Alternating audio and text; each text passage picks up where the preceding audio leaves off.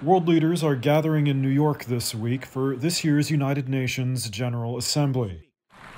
On Tuesday, U.S. President Joe Biden and Ukraine's President Volodymyr Zelensky used the event to continue their push for international support in the Ukraine war, but domestic politics in Washington will also likely be in their minds.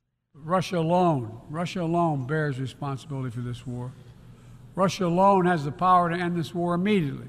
War crimes must be punished. Deported people must come back home. And the occupier must return to their own land. We must be united to make it. And we'll do it. Slava Ukraine.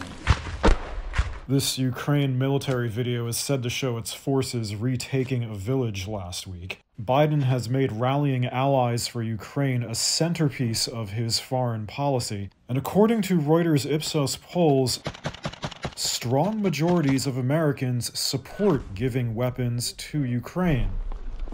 But he's also faced criticism from some Republicans who want the U.S. to spend less money on it.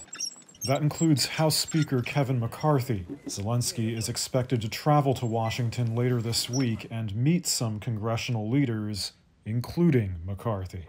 Former President Trump, now campaigning for the 2024 election, has vowed a quick end to the war if he wins. Trump's skeptical of the United States' traditional allies, such as NATO, and he's been complimentary of Russian President Putin in the past. Meanwhile, back at the UN, President Biden is actually meeting with the presidents of several Asian countries, including Russian allies. Kazakhstan, Tajikistan, and the Kyrgyz Republic are military allies of Russia in the Collective Security Treaty Organization.